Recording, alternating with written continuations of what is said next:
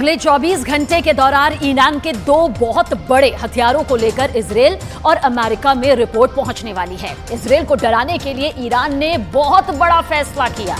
Iran ने दरअसल दो बहुत ही खतरनाक, खौफनाक वेपन सिस्टम को अब तक छुपा कर रखा हुआ था, लेकिन अचानक उन्हें सामने लाकर ईरान ने अपना इरादा साफ़ कर दिया।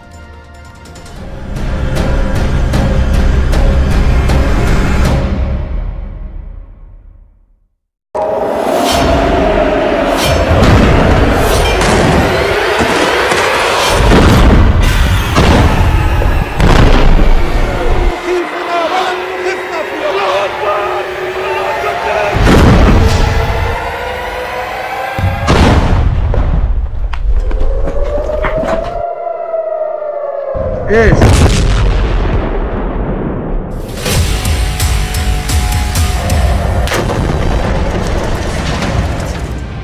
एक तरफ़ गाजा पर बमबारी हो रही है।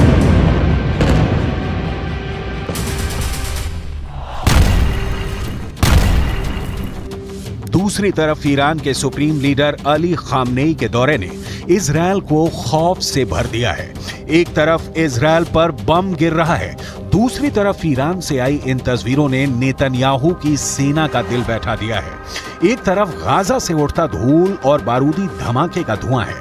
दूसरी तरफ़ तेहरान का हाई प्रोफ़ाइल अड्डा है, जिस पर इसराइल से लेकर अमेरिका तक सबकी नज़रें हैं। इस अड्डे में क्या है? उससे पहले गुस्से से उबलता हुआ पश्चिम एशिया देख लीजिए।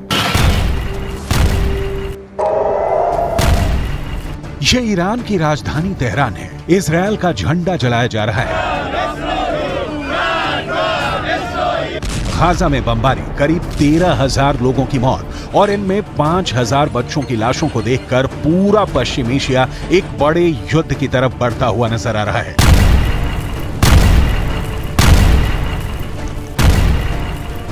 ईरान पर पब्लिक का दबाव बहुत ज़्यादा है। तेहरान में रोज प्रदर्शन हो रहे हैं। यही वजह है कि ईरान के सुप्रीम लीडर अली खामनेई को उस अड्डे पर जाना पड़ा, जहाँ ईरान के सबसे खतरनाक हथियार रखे गए हैं।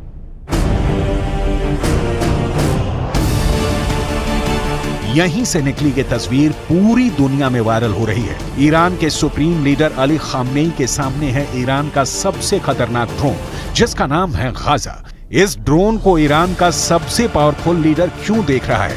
इस वक्त पूरी दुनिया में इसके मतलब निकाले जा रहे हैं। ईरान ने गाजा नाम का जो ड्रोन बनाया है, ये 2000 किलोमीटर के दायरे में ऑपरेट कर सकता है। ये 35 घंटे तक साढ़े तीन किलोमीटर प्रति घंटे की रफ्तार से उड़ान भर सकता है। पैंतीस हज़ार फीट की ऊंचाई तक उड़ सकता है और सबसे खास बात कि ये तेरह मिसाइल लेकर उड़ सकता है। ईरान ने इस ड्रोन का नाम बहुत सोच समझ कर रखा है। 2021 में इस ड्रोन को लॉन्च करने के बाद अब इसराइल की बमबारी के बीच गाजा ड्रोन को दुनिया के सामने एक बार फिर लाना, ये ईरान की तरफ़ से बहुत बड़ा संदेश है। खासकर जब इसके साथ खामनेई की फ़ोटो पूरी दुनिया में वायरल की जा रही है। लेकिन खामनेई के टारगेट पर इस वक्त अमेरिका और इसराइल से ज़्यादा अरब वर्ल्ड के वो देश हैं जो इस वक्त गाजा पर बमबारी को देखकर खामोश बैठे हुए हैं। मुसलमान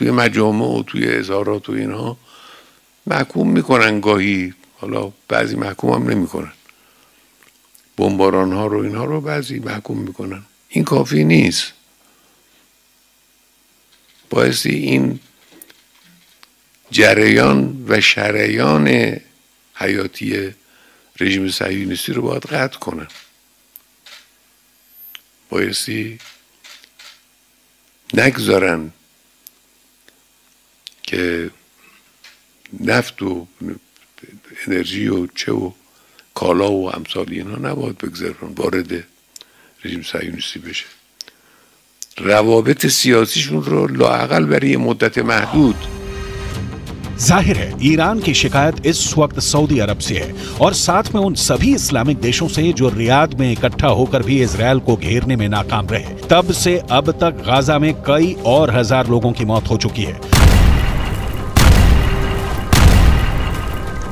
खामनेई ने जो कहा, उसे आम भाषा में टोपी ट्रांसफ़र कहा जाता है।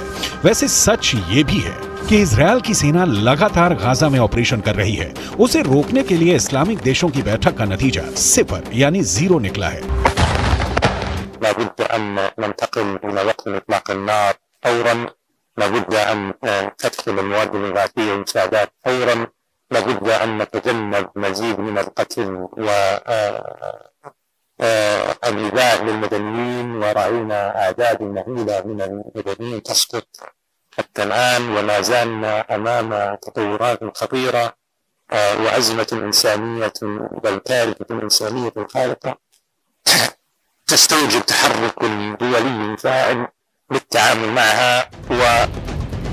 इस बीच इसराइल और अमेरिका को बड़ी चुनौती चार एच से मिल रही है।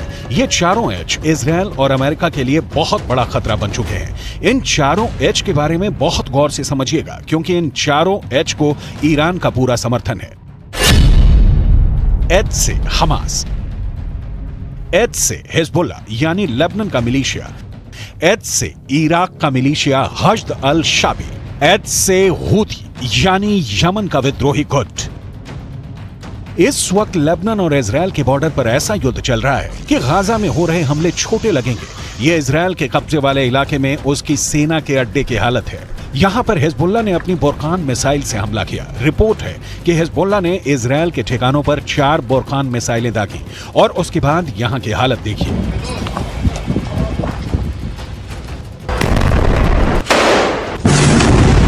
हिजबुल्ला ने अपनी सबसे खतरनाक स्नाइपर फोर्स उतार दी है।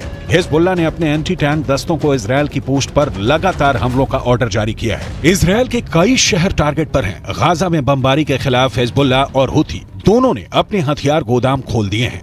यमन अब इसराइल के समुद्री जहाजों को भी टारगेट कर रहा है। लेकिन ऐसे हमलों और गाजा पर बमबारी जारी रखने के बीच नेतन्याहू ने अपना वॉर ट्रायंगल तैयार कर लिया है।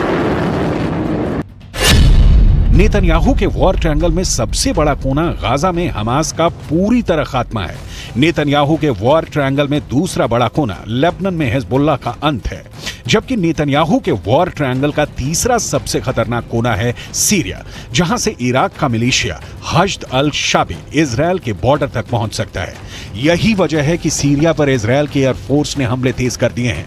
ये तीनों जगह इसराइल के बॉर्डर से लगी हुई हैं और इसराइल इन्हें अपने खिलाफ सबसे बड़ा खतरा मानता है। इस वक्त पश्चिम एशिया में जो भी हो रहा है वो दो कैंपों के बीच चल रहा है एक तरफ है इसराइल और अमेरिका और दूसरी तरफ है ईरान और उसके साथ ही मिलिशिया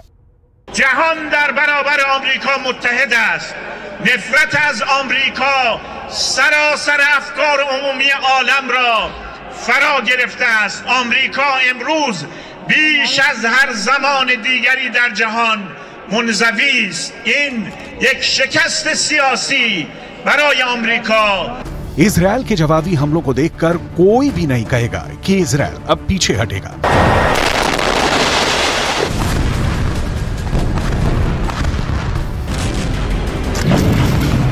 उसके रास्ते में जो आएगा इसराइल अब उसे मिटाना चाहता है फिर चाहे वो हमास हो हिजबुल्ला हो यमन हो या फिर ईरान इसराइल का इरादा पक्का है जो उससे टकराएगा चूर चूर हो जाएगा इसमें कोई शक नहीं कि ईरान में इसराइल को लेकर इस वक्त बहुत गुस्सा है ईरान के जनरल अब तक इसराइल की बमबारी को लेकर बहुत आक्रामक भाषण देते आए हैं लेकिन इसराइल को डरा नहीं पाए